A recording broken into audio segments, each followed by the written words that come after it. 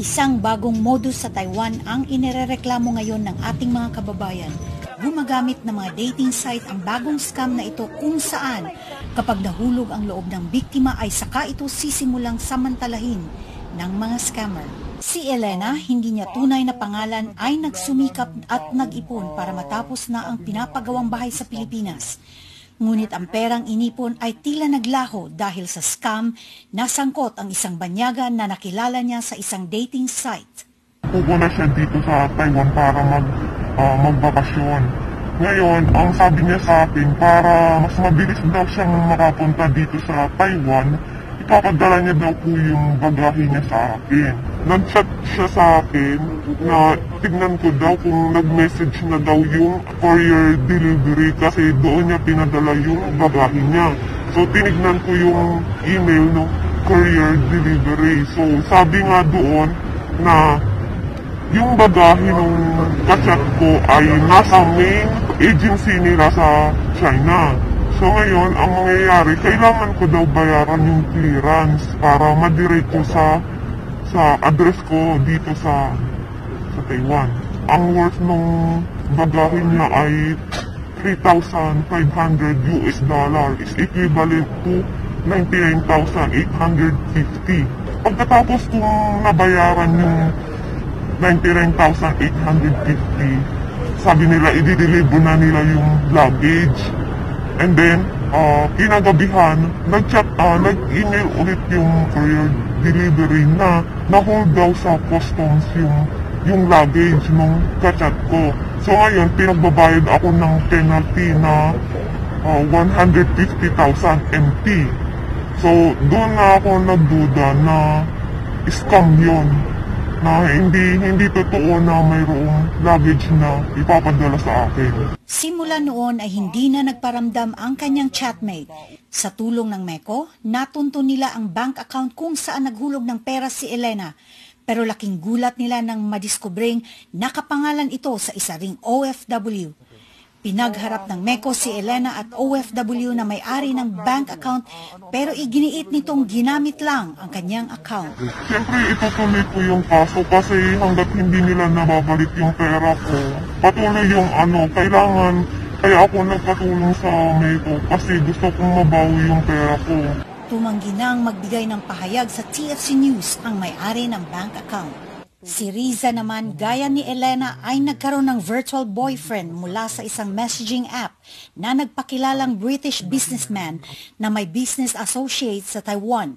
Sinabi nito kay Riza, umorder di umano ng mga construction materials ang kanyang mga kasosyo sa Taiwan at dahil komplikado ang pagpapadala ng pera sa UK, kailangan niyang ipadeposito ang pera sa bank account ni Riza Umabot umano sa 600,000 Taiwan dollars o halos isang milyong piso ang naideposito na pera sa bank account ni Riza.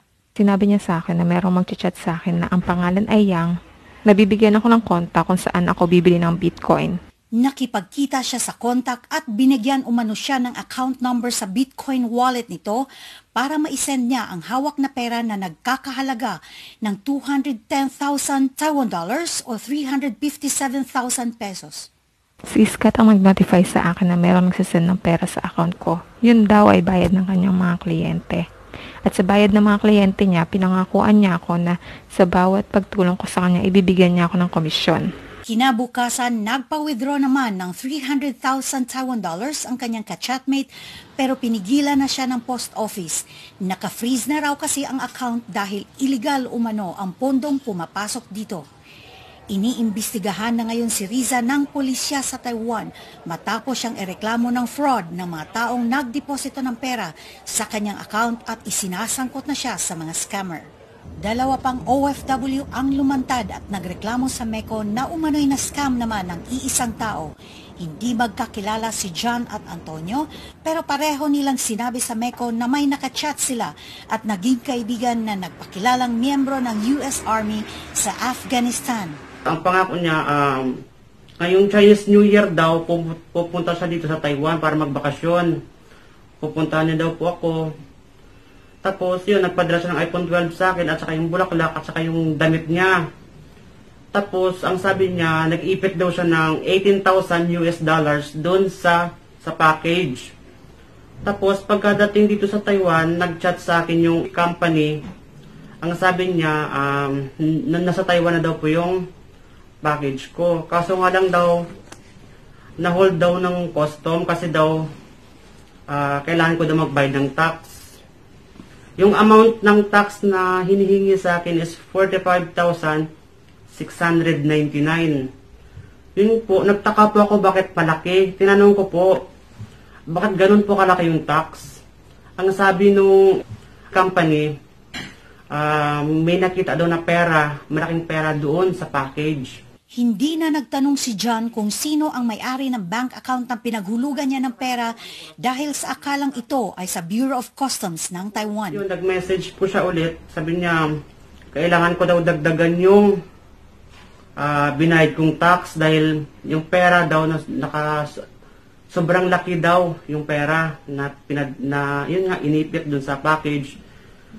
Kasi baka makasuwang daw ako ng money laundering daw kasi sa kalahating milyon daw dito sa Taiwan pag kinonvert. Pangalawang sabi niya na magbabayad ako ulit ng tax.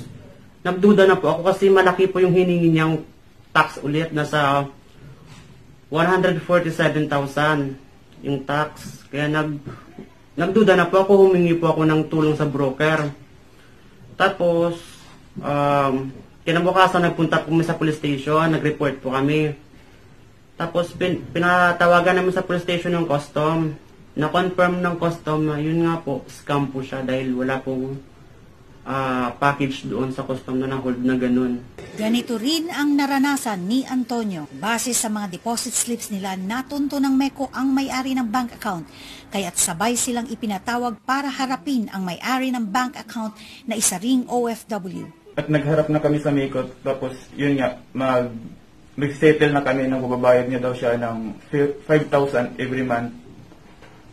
Yun lang, para mabayaran na ng buo. Desididong ituloy ni Antonio laban sa kapwa OFW na may-ari ng bank account at may dagdag paalala siya sa iba.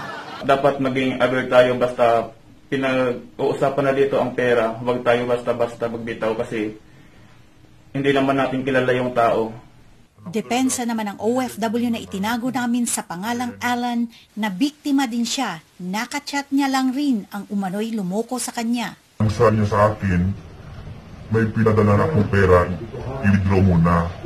Tapos, nung withdraw ko din naman yung pera, na 40, uh, 44,065, 44,065 NTs, withdraw ko na yun, tapos, binigay na yung pangalan ng Pilipino na, na isisend ko sa Pilipinas.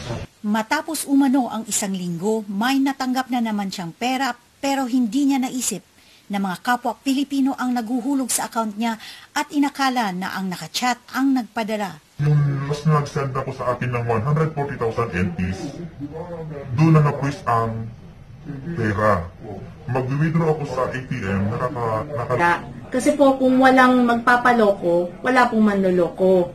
Ayon sa mga otoridad, tanging mga bank deposits lamang ang matibay na ebidensya ng money scam na ito. Sa makatwid, ang mga may-ari ng bank accounts ang siyang mananagot dahil mahirap tukuyin ang mga pasimuno ng scam na ito sa dahilang lahat ng transaksyon ay nagaganap lamang online. Nag-uulat mula dito sa Taiwan, Mariang TFC News.